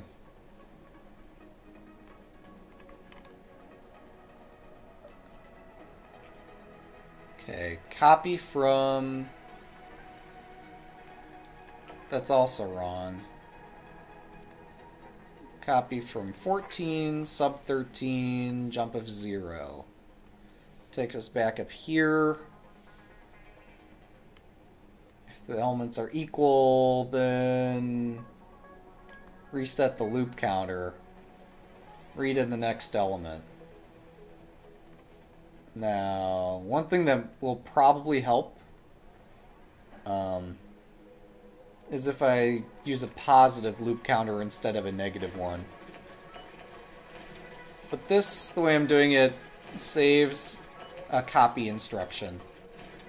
Because we read in the input, just assign it to the greatest index. And this latest index here is volatile. Meaning it doesn't mean anything until such time that we increment um, Oh, this the goal of this one is just to print out all the unique symbols in the order that they appear in the input sequence. So when it says E, D, A, C, C, A, so forth, you want to print E, D, A, C. And then you've already printed C, so don't print it again. You've already printed A, so don't print that again. And if there's ever a B down here, then you want to print the B. Um, so you see, like, I'm reading E, print it out, increment my counter. Um,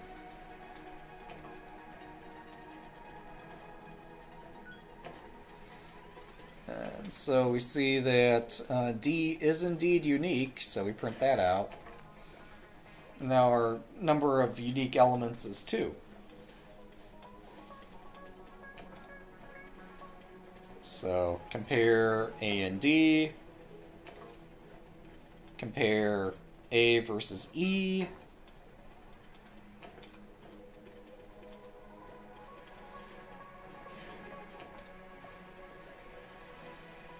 Alright, and then load up the next symbol and so forth.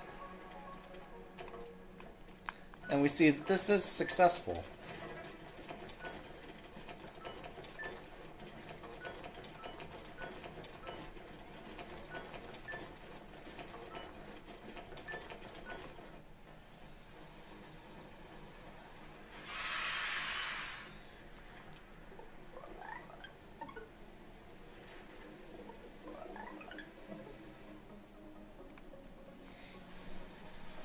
Now, point of order here, you're not allowed to add a letter to a number. You can only add a number to a letter.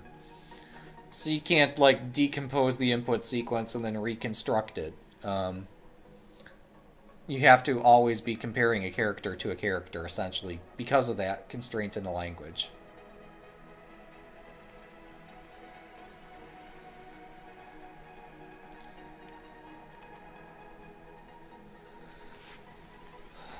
So, I think... Let's see. Actually, what I've got here with this jump of zero, this is sensible, and this jump of negative is fine. Um...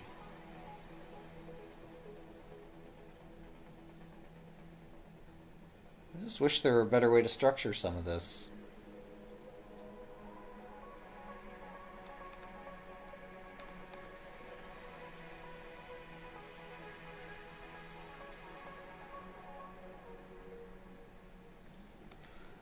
Copy from 14 to outbox. That seems okay. I mean, I could even change this to say copy 214, whatever. And then each time we print a symbol, we increment the symbol count.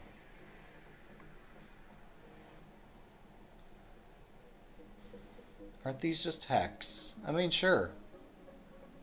Uh, they do have other letters that they print out, so it'd be more than hexadecimal um, in other cases. But for these symbols that we're looking at at the moment here, uh, yeah, I don't think we have anything beyond E. So you could argue that it's pentadecimal. Um, I don't know why you would, but it's probably right. So it bugs me that I'm doing this bump plus 14 and this copy from 14.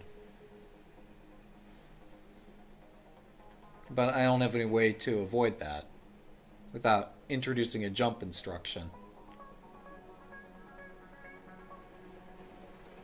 Um...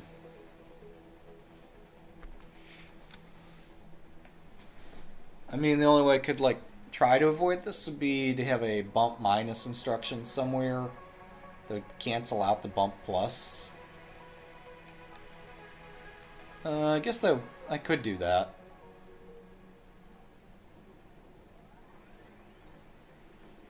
Um, well, that doesn't even save a cycle, though. That'd be silly. Unless... Wait. Copy...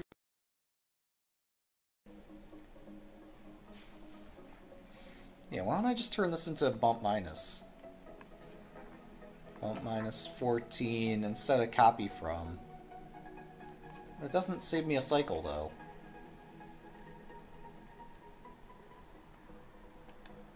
What I want to save is a cycle when I print out a symbol. No, I still need to save more than 4, though. So even if I somehow saved 4 by not doing bump and then copy, that wouldn't help at all. Um,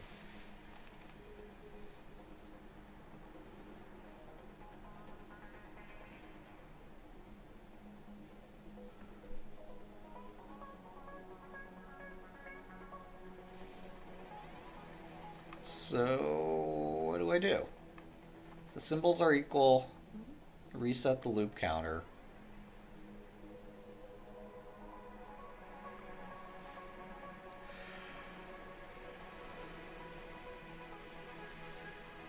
Do they seriously want me to keep the elements in alphabetical order? Surely they wouldn't have asked such a task. Um, I don't know. I mean, there's such limited utility to that, too.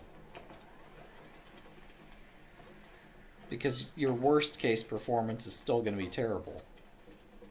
It's just your average case performance that might exceed your worst case, or might be better than your worst case performance. Um,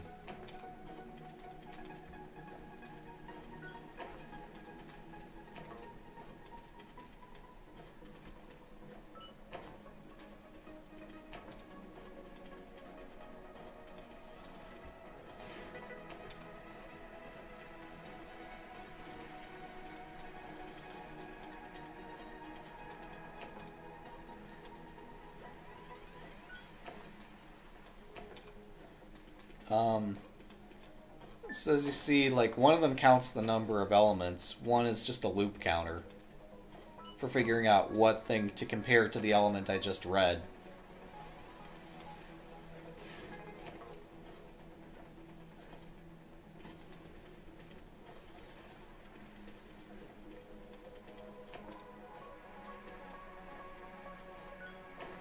So see, those are equal, so we're just done and we move on to the next thing which we read in here.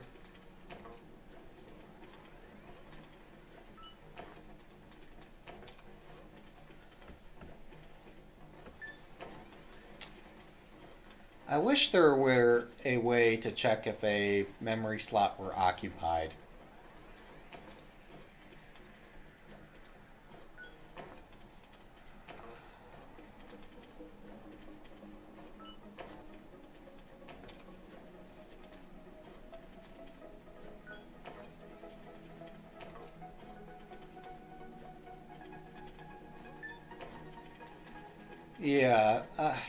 Get the sense that essentially what I need to do is build a hash table in order to meet the uh, performance requirements of this problem. So I'd need to compare, like, take this difference I'm obtaining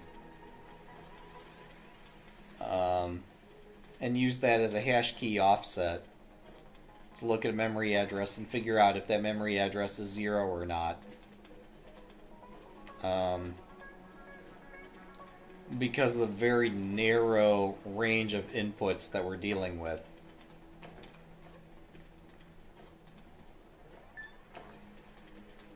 So, take my first symbol. Um, somehow I need to get a 7 into memory. And then use the difference um, as an offset from 7 to look up the value in the memory address offset. Um, and oh, I still can't read without knowing. No, I would need to first copy in this 0 into all the memory addresses. Second, get a 7 somehow. Um, I mean, this is so convoluted when I'm talking about. And then third, take the first symbol, copy it to 0, print it out.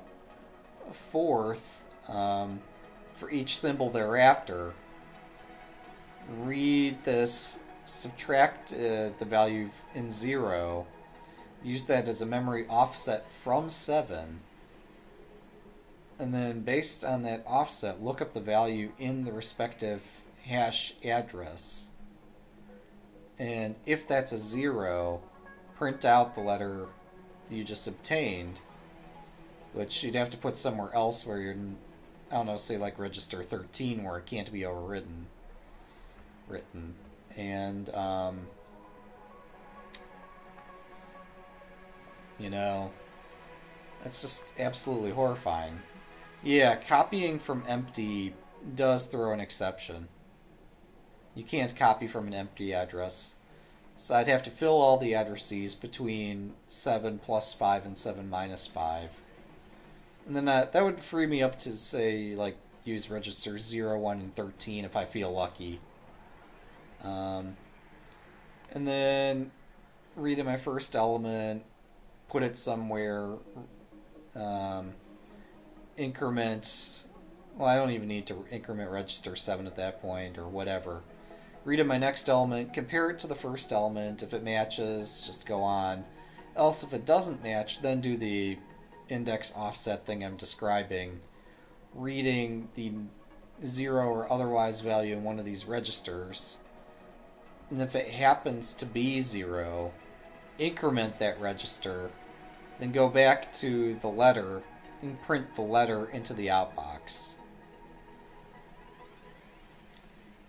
So the advantage of that approach is it would have, uh, rather than O of n indexing, it would have O of 1 um, memory lookup time for this sort of comparison. So that would save looping on every time we go through the set of all the letters looking for a duplicate letter. Um, as the unfortunate downside, that there's tons of setup required, and it seems really arbitrary to boot. Because um, I still need to figure out in all that setup how to get a 7. Or an 8 an 8 might work better because at least I could take a 0, add 1, double it, double it, double it, double it, or whatever. Have the 1, double it 3 times, and then I have an 8, and then I can use that 8 as the basis for memory index lookup. Yeah, it's, it's going to be horrible. It seems like the right thing to do, but I see. Are these both 15? These are both 15. Is any either one of these cleaner than the other? I like this one better, so I could clobber this one. Let's get rid of this. Hash table, here we go. Woo! Alright. So... Um... inbox, copy to zero, outbox. Um, copy to one, subtract 0. If this is equal to 0, go on to the next thing. Um, else do the whole big old complicated thing. Um, which is going to be whatever. Um, but now I need to focus on the setup aspect of this program. Um, copy from 14. Um, so I'm going to need 8 plus or minus 5. So that's going to be 8. Oh, sorry, 8 plus or minus 4. So, okay. So copy to 12, copy to 11, to 10, to 9. We actually don't need 8 itself. 6, 5, 4. Okay. So that's whole nine instructions that have been chewed up trying to set this up. And we still don't have our 8 yet. So now I need to increment this. Um, and we'll just say, like, add it to itself. Actually, increment it twice. Add the value in 14. Um, copy it to 14. So now we have a 4 over here. Add this value and copy that into 14. Okay, 15 instructions chewed up just doing data setup. And then we read our inbox, copy it to 0, outbox, inbox, copy to 1, sub 0, if they're equal, go on. Otherwise, we have the difference between um, the elements. So we're going to add 8. Why don't I just... Um, oh, that looks terrible. Let's try that again. E I G H T Yeah. That looks disgusting, but whatever. Add 8. Um,